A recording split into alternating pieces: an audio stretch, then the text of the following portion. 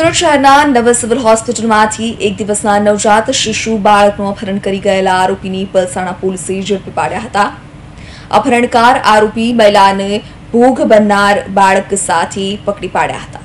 ગત પંદરમી તારીખના રોજ સુરત શહેરના ખજુદરા પોલીસ સ્ટેશન વિસ્તારમાં એક દિવસના નવજાત શિશુ બાળકનું અપહરણની ફરિયાદ નોંધાઈ હતી.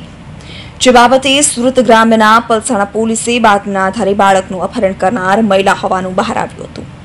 અને એ મહિલા પલસાણા તાલુકાના ચૂડવા ગામે આવેલ આરાધના લેકટાઉન સોસાયટીના ગેટ પાસે ઊભી હતી અને એની સાથે નવજાત શિશુ પણ હતું.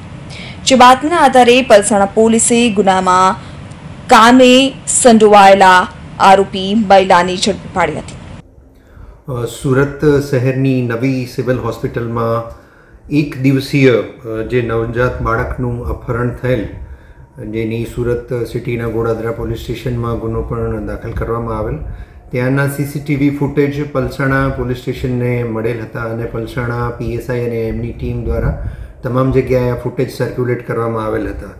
આજે પલસાણા પીએસઆઈ અને એમની ટીમને બાતમી મળેલી કે અપહરણ કરનાર બહેન અહીંયા જોડવા ગામે એનું લોકેશન મળતા તાત્કાલિક ત્યાં પહોંચી જઈ અને એ બાળક ને શોધી કાઢેલ છે અને અપહરણ કરનાર બેન જે છે, અંકિતાબેન સુમિત કુમાર પવનકુમાર સરોજ, જે ગાર્ડન સોસાયટી જોડવામાં રહે છે અને મૂળ રાનીગંજ અમેઠી સુલતાનપુર જિલ્લા ઉત્તર પ્રદેશના વતની છે. એ છવ્વીસ વર્ષીય મહિલાને પણ અટકાયત કરી અને સુરત સિટી પોલીસને સોંપવામાં આવેલ છે અને બાળકને એના વાલી વારસને સોંપવાની તજવીજ ચાલુ છે.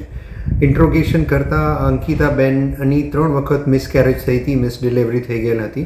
અને પંદરમી તારીખે એમને ફ્રેક્ચર થતાં એ સિવિલ હોસ્પિટલ ગયા હતા અને ત્યાં બાળકોના વોર્ડ બાજુ જોતાં એક માતૃત્વની લાગણી જાગતા એમણે એક બાળકનું અપહરણ કરેલ હતું. એ સિવાય કોઈ આ બેનનું ગુનાહિત બેકગ્રાઉન્ડ હાલ સુધી પોલીસ તપાસમાં આવેલ નથી.